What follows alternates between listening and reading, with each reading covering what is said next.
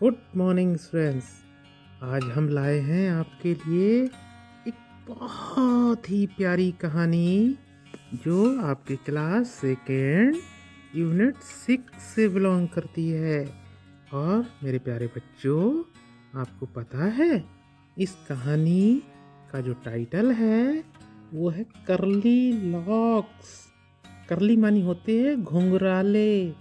ऐसे ऐसे और लॉक्स मानी होते हैं हेयर वाल ये जो लंबे लंबे बाल होते हैं, इनको लॉक्स बोलते हैं और करली मानी घुंघला घुंघराले, छल्ले वाले छल्ले जैसे बाल होते हैं ना किसी के? देखा होगा आपने गर्ल्स में स्पेशली ऐसे ऐसे ऐसे बाल होते हैं। और आगे है थ्री बियर्स तीन भालू। तो कहानी शुरू करने से पहले बच्चों, हम आपको कुछ पिक्चर्स दिखाते हैं। देखो, सबसे पहले देखेंगे एक प्यारी सी, खूबसूरत सी एक लड़की है, गुड़िया की तरह। बहुत प्यारी सी। देख रहे हैं बच्चों? आपकी तरह खूबसूरत, जैसे आप लोग खूबसूरत होते हैं, वैसे कितनी खूबसूरत है। इसके बाल देखो, कितने घुंघराले, प्यारे प्यारे बाल है। बहुत अच्छे इसके बाल है है ना? उसके बाद हम आगे बढ़ते हैं। फिर जैसा कि हमारी कहानी का टाइटल है, थ्री बियर्स। ये देखो, तीन भालू हैं। इसमें ये पापा भालू है। ये मामा भालू है और ये बेटा भालू है। मतलब बियर्स का ये परिवार है। भालुओं का ये परिवार है। ठीक है? और एक दिन क्या करती है ये बच्ची? जो करली लॉक्स थी, उनके घर में पहुँच जाती है। खाना खाती है और सो जाती है। तो देखो इस तरह से सो जाती है ये बच्ची। है? और ये पूरा परिवार इसको देखता है कि अरे, हमारे घर में ये कौन सो रहा है? ये सारे भालू बहुत ही सरप्राइज़ हो जाते हैं। बहुत ही अचंभे में पड़ जाते हैं। तो चलो बच्चों, शुरुआत करते हैं हम अपनी कहानी को, हैं? और फाइंड आउट करते हैं कि हुआ क्या था इस कहानी में।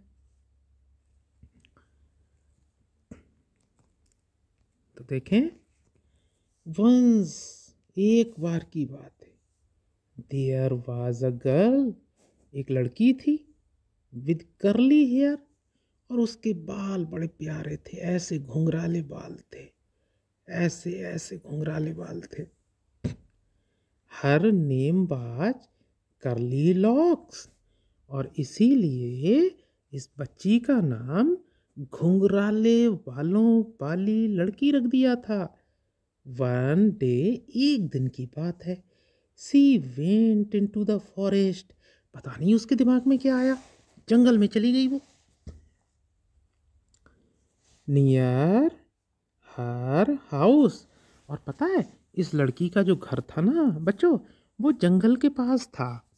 जंगल के पास जो था, वहीं इसका मकान बना हुआ था, इसके पापा मम्मी ने बना रखा था।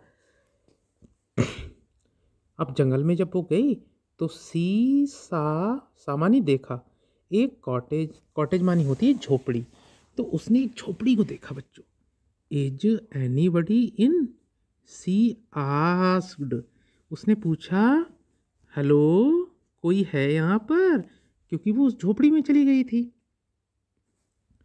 There was nobody nobody मानी कोई नहीं। उस झोपड़ी में भैया कोई भी नहीं था। The bear family lived in the cottage और इस झोपड़ी में बच्चों पता है कौन रहता था? भालुओं का एक परिवार रहता था। भालू होते ना? भालू मामा कहाँ चले? इस तरह से भालू आया छम छम छम। आपने पोएम सुनी होंगी। तो they had gone for a walk ये सारे लोग, जो भालुओं का परिवार था, वो टहलने गए थे। करली लॉक्स वेंटिन ये जो करली लॉक्स नाम की लड़की थी, वो इस झोपड़ी में घुस गई। She wanted to see who lived there वो ये देखना चाहती थी कि भैया, इसमें रहता कौन है? सीसा, देयर वॉल्स ऑफ़ पोरेज। उसने देखा कि वहाँ पर ऐसे कटोरे रखे हुए थे। ऐसे ऐसे ऐसे थ्री वॉल्स थे और उनमें पॉरेज था पॉरेज यू नो वेल दलिया कहते हैं पॉरेज को। तो उनमें पॉरेज रखा था। ऑन द टेबल और ये दलिया कहाँ रखा था बच्चों? टेबल पे रखा था। There was a big bowl. वहाँ पर बेटा एक बड़ा सा बॉल था, एक बड़ा सा कटोरा था। फॉर पापा बियर ये देखो ये हमने बताया पापा बियर के लिए था बड़ा वाला कटोरा। A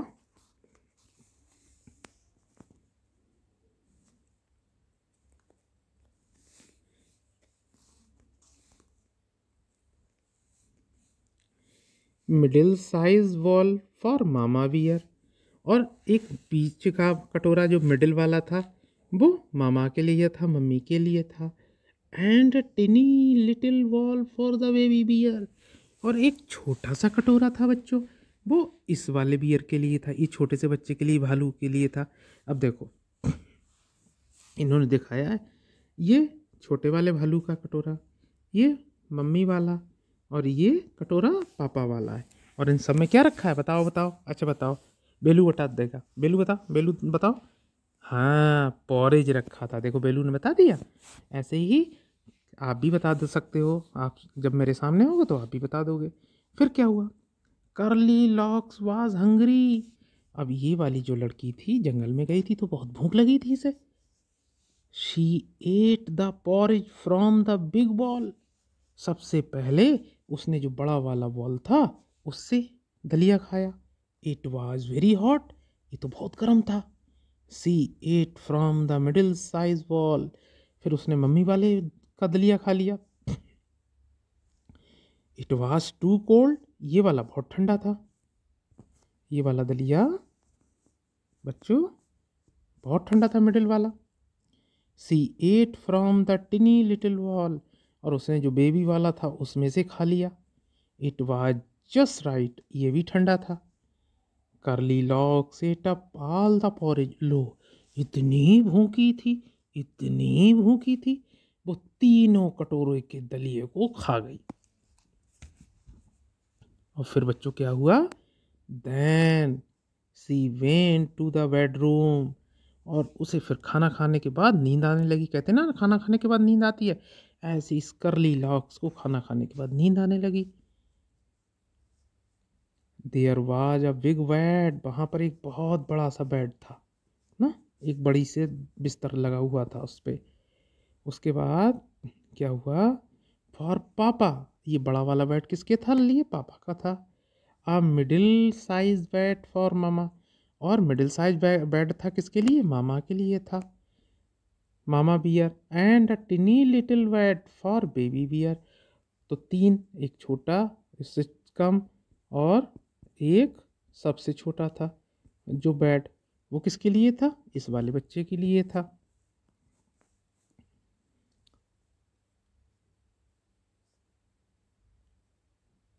The big bed was very, जो बड़ा वाला बेड था ना बेटा तो वो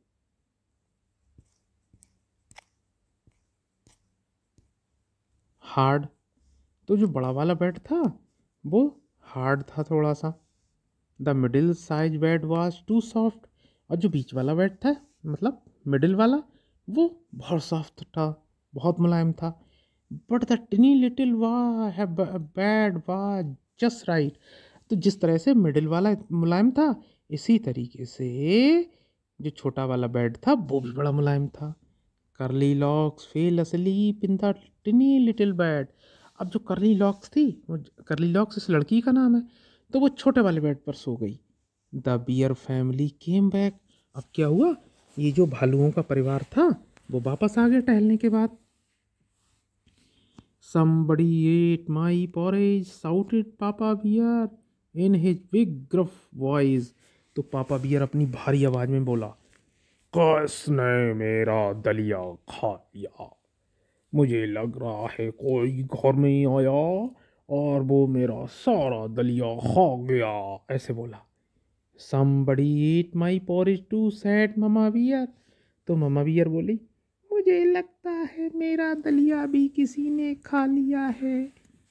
Somebody finished all my porridge said Baby Bear in his tiny little voice तो जो बेबी बियर था ना, छोटा वाला भालू, उनका बेटा, उसने बड़ी अपनी प्यारी आवाज़ में बोला मम्मा मम्मा मेरा दलिया भी किसी ने खा लिया है।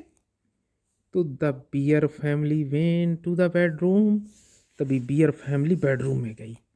Somebody slept in my bed shouted papa bear तो पापा बियर बोले कोई मेरे बेड पे सोया था।